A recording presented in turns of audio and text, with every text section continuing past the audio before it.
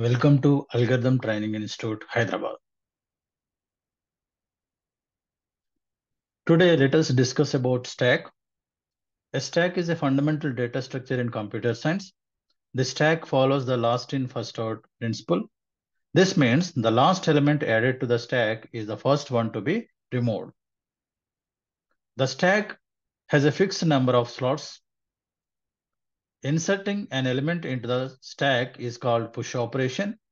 Removing an element from the stack is called pop operation. The elements can be pushed or popped from the same end of the stack, which is called the top of the stack. These are the some of the applications of stack, recursion, postfix expression evaluation, infix to postfix conversion, depth first search, undo, redo operations, browser history. These are the basic operations of the stack. Push operation adds an element to the top of the stack. Pop operation removes the top element from the stack.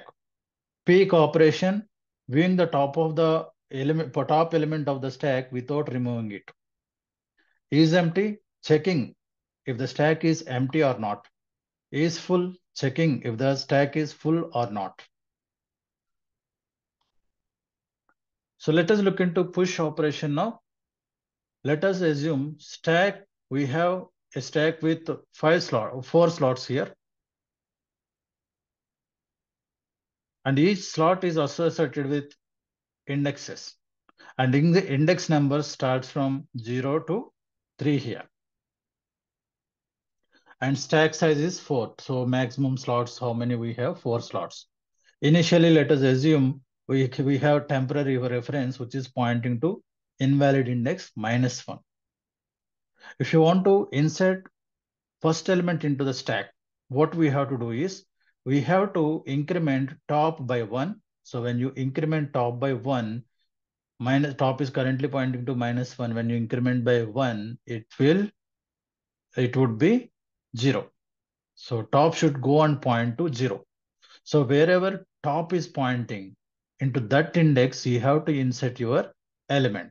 So that's what here, if you, that's what uh, you can see here, the element came and occupy the first position, which is pointed by top. So if you see this algorithm here, so that's what it is saying. So when top is not, not equals to size minus one, you have to execute this. So what is the top value here currently zero, which is not equals to size minus one is three. So that is the reason we have to come and do this. So top should be incremented. Top is incremented from minus one to zero. Then in that new, new top value, wherever it was pointing, so into that slot, you have to insert. So L spot you can see now. So if you want to insert one more element, again, we need to increment top from current position. That is top is currently pointing to zero. Now we have to update by one. So top goes to, the top points to one. Now you, you can insert new element two into that slot number one. Again, if you want to insert one more element, we can increment top by one. So current top value is one. If you increment by one, this would be two. So top is pointing to two. Now into that new position, we have to increment new element. So again, if you want to insert one more element, we have to increment top from two to three. So into that new slot, index number three, you can insert fourth element.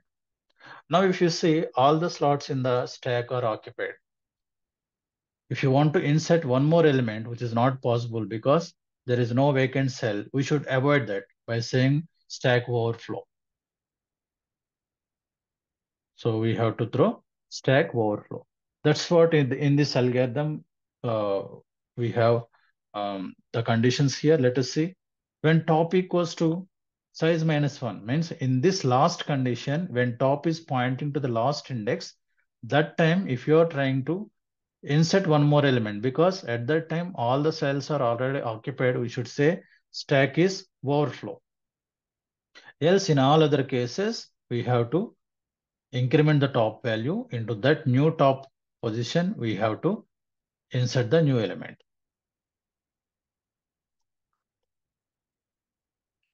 So now let us look into the next operation, pop. Pop removes an element from the top of the stack. So let us assume we have a stack like this. Stack again with the four slots. In all the four slots, we have all the elements are, are occupied in the all the four, four slots. So if you want to remove an element, what we have to do here? First, mark which is the element you want to remove. So 4 I want to remove. The, then decrement top by 1. Then remove this element 4. So that's what here it is mentioned in this else block. X is the element to be removed. S of top, that is 4 here. Top is pointing to 3. S of 3 is 4. And decrement top. Top should come from here to here. So let us see here. So decrement top, remove the element and decrement top. So again, if you want to remove one more element, remove 3 and decrement top by 1. So remove an element, 3 and decrement 2 by 1. So again, if you want to remove one more element, remove 2 and decrement top by 1. So top should go on point to 0. Now we have only one element in the stack. If you remove, if you want to remove even that element, then again we can apply the same logic. So first mark the element 1 to be removed, decrement top by 1. So 0 minus 1. So top should go and point to minus 1. This is the condition when the stack was empty, we have taken as a uh, top value. Top, top is pointing to minus 1. That is nothing but initial condition when the stack is empty. So now if you want to remove one, one more element, if you see in this stack, there are no elements.